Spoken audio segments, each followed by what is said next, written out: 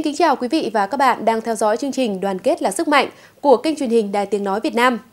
Thưa quý vị và các bạn, những kết quả đạt được, những đổi mới trong quá trình thực hiện chương trình mục tiêu quốc gia về xây dựng nông thôn mới, đổi mới công tác thông tin tuyên truyền, đổi mới công tác dân tộc, tôn giáo của Mặt trận Tổ quốc Việt Nam là những nội dung chính sẽ có trong chương trình Đoàn kết là sức mạnh ngày hôm nay.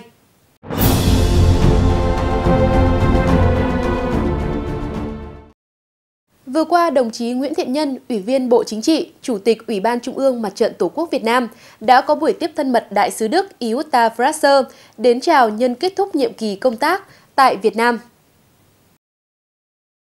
Đồng chí Nguyễn Thiện Nhân chúc mừng bà đại sứ đã hoàn thành nhiệm kỳ công tác tại Việt Nam, đồng thời đánh giá cao những đóng góp của cá nhân bà đại sứ và việc thúc đẩy quan hệ đối tác chiến lược Việt Nam Đức ngày càng phát triển trên mọi lĩnh vực. Nhắc lại ấn tượng tốt đẹp trong chuyến thăm Đức tháng 6 vừa qua, đồng chí Nguyễn Thiện Nhân đánh giá cao nỗ lực của chính phủ Đức và cá nhân bà đại sứ đã có nhiều hoạt động khuyến khích, hỗ trợ các doanh nghiệp Đức sang đầu tư kinh doanh tại Việt Nam. Đặc biệt là việc tổ chức hội nghị doanh nghiệp Đức khu vực châu Á Thái Bình Dương 14 tại thành phố Hồ Chí Minh vào tháng 11 2014 vừa qua. Đồng chí Nguyễn Thiện Nhân cũng bày tỏ vui mừng khi nhận thấy hợp tác kinh tế hai nước tiếp tục duy trì đạt phát triển với kim ngạch thương mại hai chiều đạt 7,9 tỷ đô la Mỹ trong năm 2014. Đồng chí Nguyễn Thiện Nhân cũng cảm ơn chính phủ và nhân dân Đức đã dành cho Việt Nam nguồn vốn ODA liên tục trong nhiều năm qua. Trong đó có dự án trường đại học Việt Đức. Chủ tịch Ủy ban Trung ương Mặt trận Tổ quốc Việt Nam Nguyễn Thiện Nhân mong muốn, dù trên bất cứ cương vị nào, bà đại sứ vẫn giữ mãi những ấn tượng tốt đẹp về đất nước và con người Việt Nam, tiếp tục có những hoạt động thiết thực nhằm vun đắp mối quan hệ đối tác chiến lược tốt đẹp giữa Việt Nam và Đức phát triển bền vững. Hội nghị giao ban đánh giá kết quả công tác phối hợp tuyên truyền 6 tháng đầu năm 2015, triển khai đề án đổi mới công tác thông tin tuyên truyền của Mặt trận Tổ quốc Việt Nam vừa được Ủy ban Trung ương Mặt trận Tổ quốc Việt Nam phối hợp với Tổng Liên đoàn Lao động Việt Nam, Đoàn Thanh niên Cộng sản Hồ Chí Minh, Hội Liên hiệp Phụ nữ Việt Nam, Hội Nông dân Việt Nam, Hội Cựu chiến binh Việt Nam tổ chức tại Hà Nội. Các đại biểu dự hội nghị nhận định, sau một năm thực hiện kế hoạch phối hợp công tác tuyên truyền giữa báo chí của Ủy ban Trung ương Mặt trận Tổ quốc Việt Nam và Trung ương các đoàn thể chính trị xã hội, bước đầu đã tạo được sự đồng bộ, thống nhất trong việc phối hợp tuyên truyền các chủ trương của Đảng, chính sách pháp luật của nhà nước, các sự kiện lớn của đất nước và các hoạt động trọng tâm của từng tổ chức. Thông tin kịp thời các sự kiện trong nước, quốc tế, phản ánh tâm tư nguyện vọng của hội viên, đoàn viên và các tầng lớp nhân dân.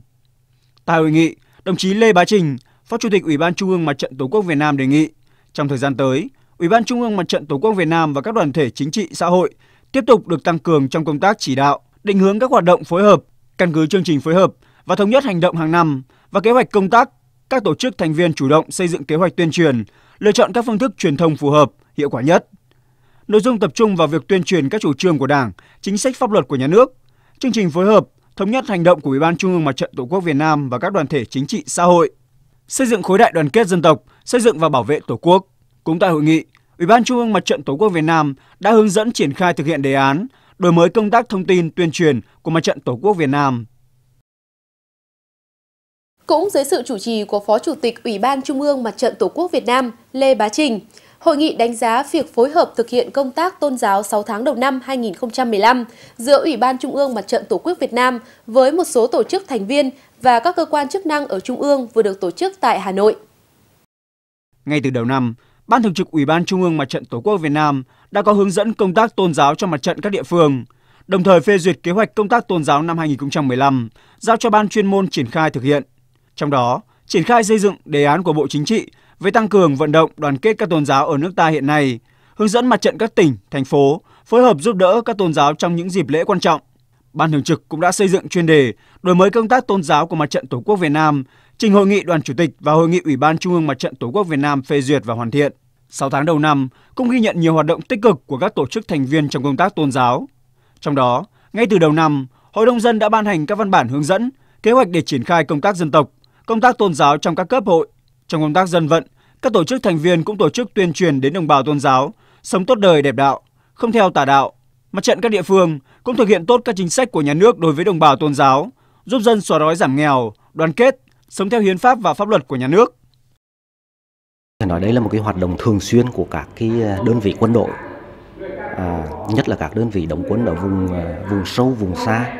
à, vùng ờ, đồng bào dân tộc thiểu số, đồng bào theo đạo. À, thì các cái hoạt động của các cái đơn vị hướng đến cái cái cái trong việc giúp dân ở các cái địa bàn địa bàn này. À, thì trong các cái hoạt động chung đó là cái tuyên truyền vận động bà con thực hiện cái đường lối chủ trương chính sách pháp luật ờ, của Đảng, của nhà nước. Ở Hải Dương thì ờ, vấn đề dân tộc thì không lớn, bởi vì Hải Dương gần như là không có dân tộc. Nhưng mà cái công tác tôn giáo là chúng tôi cũng đặt cái trọng tâm bởi vì ờ, hiện nay là cái hoạt động của tôn giáo thì đối với Hải Dương thì nó cũng không có những cái vấn đề gì quá nhạy cảm. Nhưng mà nói chung ấy là cần phải chú ý đến cái hoạt động của tôn giáo, để làm sao mà vận động đồng bào có đạo ở các cái cái nơi mà có đạo ấy để người ta gắn kết và hướng vào cái hoạt động chung nhất là vào các cái cuộc vận động do mặt trận chủ trì thế rồi là lựa chọn những cái người mà chức sắc trong các cái tôn giáo rồi những cái điển hình những cái cá nhân tiêu biểu để thông qua họ để mà thực hiện cái vận động đối với đồng bào có đạo thì mới có đạt kết quả tốt được. Hội nghị thống nhất trong 6 tháng cuối năm, công tác tôn giáo sẽ tiếp tục tăng cường tiếp xúc, gặp gỡ, đối thoại, tập hợp tâm tư, nguyện vọng chính đáng của đồng bào các tôn giáo để phản ánh, kiến nghị với Đảng và Nhà nước. Đồng thời, tăng cường phối hợp cùng các cơ quan chức năng để giải quyết các vấn đề liên quan đến tôn giáo. Đặc biệt, tiếp tục đẩy mạnh các phong trào thi đua yêu nước trong vùng đồng bào tôn giáo, nhất là việc vận động và tạo điều kiện để chức sắc, nhà tu hành các tôn giáo hưởng ứng và tích cực tham gia các cuộc vận động của mặt trận và các cuộc vận động mang đặc điểm riêng của từng tôn giáo.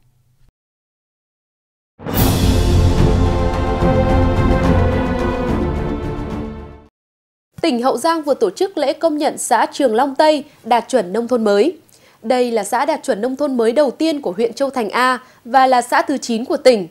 Trong thời gian tới, Hậu Giang phấn đấu có 11 xã và một thị xã đạt chuẩn nông thôn mới. Trong thời gian qua, với tổng nguồn vốn đầu tư xây dựng nông thôn mới là hơn 226 tỷ đồng, trong đó nhân dân đóng góp hơn 37 tỷ đồng. Xã Trường Long Tây đã nhựa hóa, bê tông hóa đạt chuẩn 100% tuyến đường trục xã, liên xã, đưa tỷ lệ hộ sử dụng điện an toàn chiếm hơn 99%. 100% số ấp có nhà văn hóa. Tính đến nay, xã không còn nhà tạm, nhà rột nát, có hơn 74% nhà đạt chuẩn.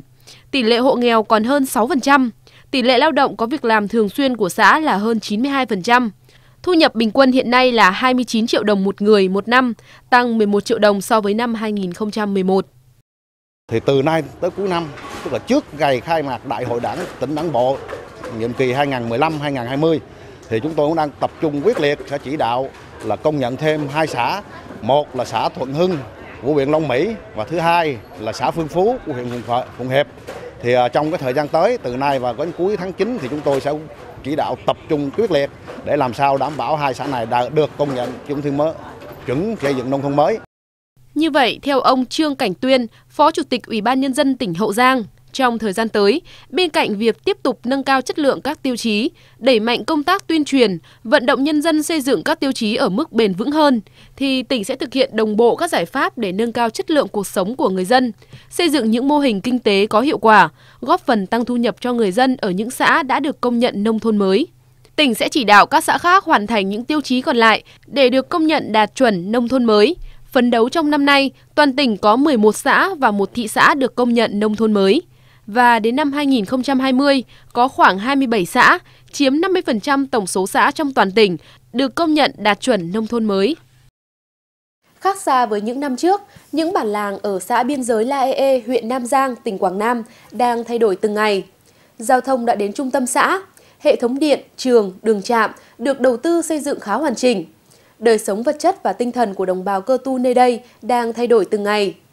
Những kết quả đó chính là nhờ thực hiện chương trình mục tiêu quốc gia về xây dựng nông thôn mới. Sau nhiều nỗ lực, điện lưới quốc gia được kéo về tận thôn, bản, vùng sâu, vùng xa của xã La E E. Điện về, cuộc sống của người dân đổi thay từng ngày. Những thôn bản ở đây như có thêm sức sống. Bây giờ thôn bản có điện, có nước, đời sống của bà con được cải thiện nhiều hơn. À, học tập của các con đảm bảo hơn trước đây. Xưa, cũng vì cái khó, cái nghèo đeo bám, người dân không có điều kiện tiếp cận thông tin, nên thiếu nhận thức tin vào cách chữa bệnh bằng bùa phép của thầy cúng, thầy mo.